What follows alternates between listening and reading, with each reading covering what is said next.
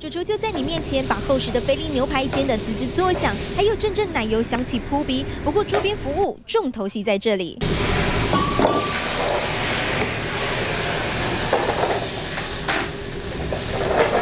九一零，瞬间冒出火焰，视觉效果大加分。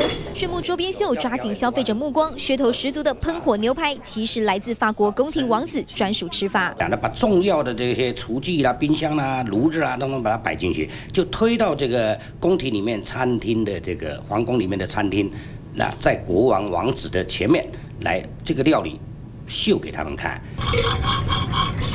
标榜桌边火焰秀，在六零年代曾红极一时，闻得到、看得到，更吃得到。复古宫廷牛排吃法又再度成焦点。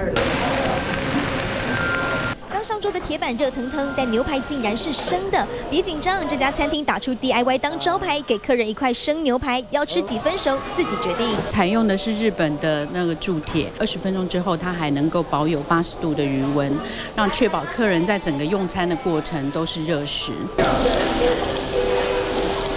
边吃边煎牛排，体验式吃法带着趣味和料理技巧，而且业者已经把牛排都切成条状，只要翻面，不需动刀，避免边吃边切的麻烦。在竞争激烈的牛排市场异军突起，有别于封闭式的厨房料理，现在动手体验和视觉行销成了饮食新宠。记者曾建勋、刘亮亨、陆毅、邵瑞敏台北采访报道。